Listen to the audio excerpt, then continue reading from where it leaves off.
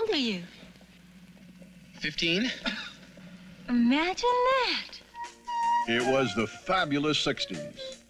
A time of prosperity, intellectual women, fast cars, fast food, and a high school. Kessler? What? Do you have a pass? You got me. Chicken on the run, up yours! This is a chronicle of that era. Dave, you have to find a place. A safe place. A safe place? The Chicken Chronicles. You come to me, your brother, to find a place to take your girlfriend? Who's there? A story of feelings You want to see? and emotions. Women! All women! Because I love women, short, fat, old. I want them all. A pulsating view of what really happened.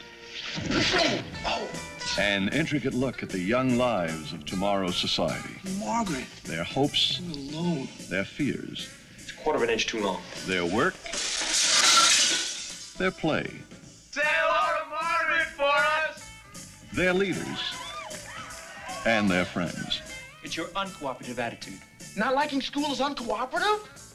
It was a time of budding young romances and strong family relationships. Dave, When did you have this fixed? you can't keep disconnecting your intercom, Dave.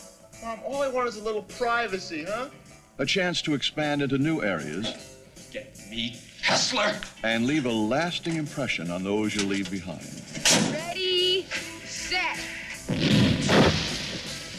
Yes, it was a very special moment in time, Listen, I forgot something. best remembered by history for its contribution to the party. Ta-da! Outrageous! I thought it'd impress you. You took a 14-year-old ravishing hooker to the senior prom? Kiss me.